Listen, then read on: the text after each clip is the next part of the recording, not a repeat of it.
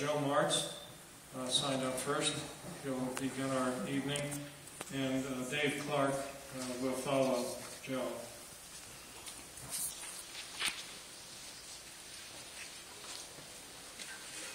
So thank you very much and good evening. Uh, my name is Joe Martz. Uh, I am a plutonium scientist at Los Alamos, speaking tonight as a private citizen.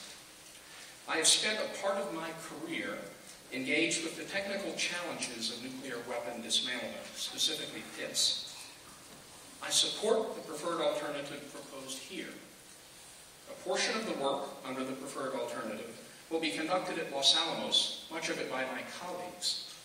I know these men and women, and they are truly exceptional, many of them having devoted decades to ensuring the safe and environmentally responsible dismantlement of pits. Los Alamos uniquely possesses the expertise along with the facility and capability to ensure the safe recovery of plutonium from pits.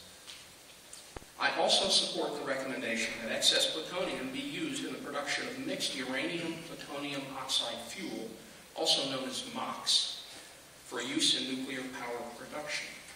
I note that this is the only alternative among those proposed which truly destroys the plutonium, rendering it unusable for weapons. I would like to offer one piece of constructive criticism with respect to the supplemental EIS. In both your public presentation and in the EIS itself, you reference the risk due to radiation exposure in the form of latent cancer fatalities, or LCFs.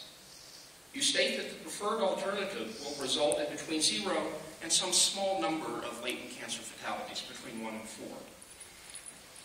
I have reviewed the EIS carefully listened to public comments from prior hearings regarding this issue of latent cancer fatalities. I have obtained and read the supporting references for these statistics, and I suggest that your use of LCFs is taken out of context of the intended use. The LCF number is based upon a recommendation that for comparative risk assessment, a figure of 0.0006 cancer fatalities be used for each person rem of radiation exposure. And I know that's a lot of small numbers. For illustrative purposes, this number can be used to calculate the number of latent cancer fatalities due to naturally occurring radiation in both New Mexico and the United States. This number predicts approximately 560 cancer deaths per year in New Mexico and 60,000 cancer deaths per year in the United States as a whole. These per year numbers compare to the predicted 0 to 1 latent cancer fatalities over the entire duration of the work under the supplemental EIS. Critically, these LCF statistics entail many assumptions and simplifications, a thorough discussion of which would take far more time than I have tonight. The source reference in the supplemental EIS recommends use of this number only for comparative risk assessment you have presented LCF statistics as absolute numbers.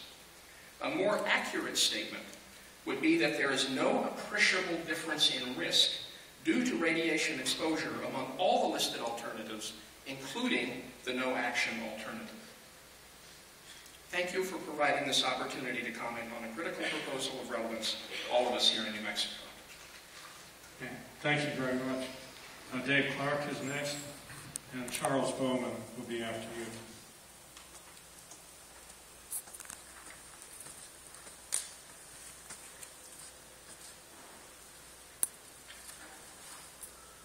Good evening. My name is David Clark, and I'm a scientist at Los Alamos National Laboratory. Uh, I'm here tonight as a citizen as, and as a scientific expert on matters related to plutonium to say that I support the preferred alternative for disposition now I say that because as a scientist I worry that there's well over 2,000 metric tons of plutonium throughout the world in various different forms. Regardless of your views on how that situation came to be, it's clear that these large inventories must be prudently managed for many centuries, and we must secure it against theft and diversion. The U.S. and Russia have agreed to dispose of 68 metric tons of weapons-usable plutonium as an essential step in reducing the global nuclear danger.